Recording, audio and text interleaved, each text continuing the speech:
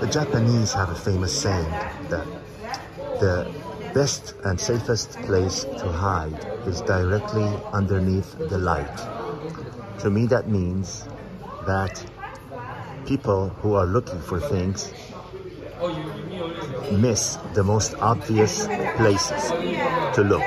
Have you ever lost something, a car key perhaps or something, and you look for it everywhere and then you realize that it's sitting in a, in a table right in front of you or, or something else that you've lost?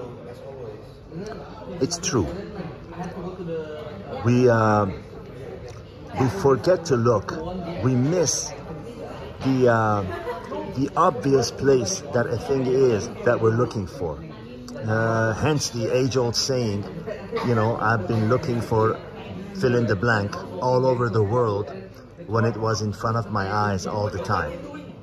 The reason I'm mentioning that is because us, many men, forget the fact that for a woman these days, as well as from the cave days, and as well as for eternity into the future, for women, a man is all about security and power that he has. And in the modern day and time, what is power?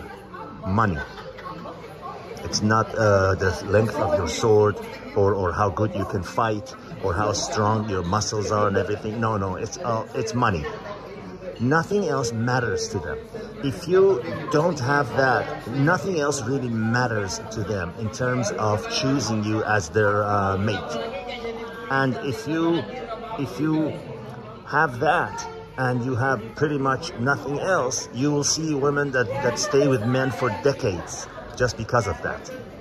Now in the West, of course, because of the divorce laws, they don't have to stay with him to have his money. So that's why you see that, uh, you know, they leave them. But if they were in, in other countries where the moment you left, the money would also stop, where like it's, you know, as it is, as it is in nature, as it is the way, you know, it should be, then they stay with them for as long as, you know, for as long as uh, they need the money, which is uh, forever. Now, in today's world, in the Western world, you see these women that have uh, already their jobs, they already have their career, they're very well paid, they're actually given jobs because they're women, because a lot of companies are trying to to uh, look like they're, uh, you know, giving women equal opportunity. So, as with uh, reverse racism, they are hiring people uh, just to fill the quota. You know, uh, there's a term that's going around these days which is extremely appropriate and accurate, and that term is diversity hire. Many companies are hiring uh, people of uh, other races, whether or not they're qualified for the job.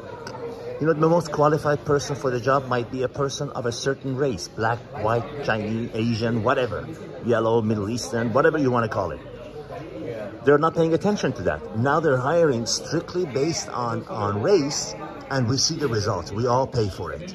We all pay for it. Now, back to the main reason why I make this video, and I always have a strong, solid point when I make a video, is that us men have been, have been told, have been fooled, have been tricked into believing that now that these women have, uh, you know, a job and, and a career and they have money and they have their own home and their car and whatever, they don't they don't really care how uh, how much money a man has. They care about other things.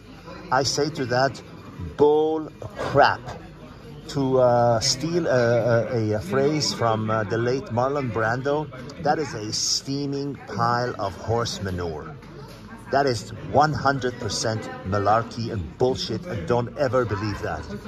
No matter how much money a woman has, no matter how successful she is, no matter how many mansions she owns, she wants a man who is uh, equal to her or even with more money. Because a man that has no money has no power. And that is a biggest turnoff to a woman. A man is who is mousy and a pushover and needy no woman wants a man who's got his hand out, you know, for the for the next meal or or, or for his uh, support, for his own support from her. No. So my point is, don't let the BS, don't let the media, and don't let these so-called uh, whoever misleads you, the so-called dating coaches, dating experts, whatever, anyone that tells you this, that or women, women more than anyone else, women, they say, "Oh, I've got my own thing, I've got my own house, I don't need your money." Bull. I mean, there is not a bigger lie that they could tell you that these women could tell you than, "Oh, I have my own house and I have my own thing, I don't need your money." It is exactly the opposite of truth. It is day and night. If I could use a more a more powerful uh, example, I would. But don't fall for that for one second. This is an absolute important thing that many men miss and overlook because it's hiding directly under the light. Next time you hear a woman say, oh, I've got my own money, I've got my own SHIT, whatever, I've got my own act together, I don't need you, BS. Oh, really?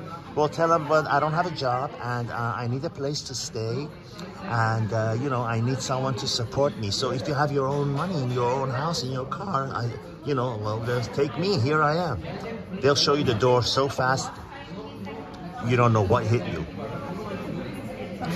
It's same as the cave days, and it is same now, and it is same how uh, how it will be into the eternity. Women want men with money. Even if they're a billionaire, they want someone who has two billion. Never forget this. Look exactly under the light first. All the best.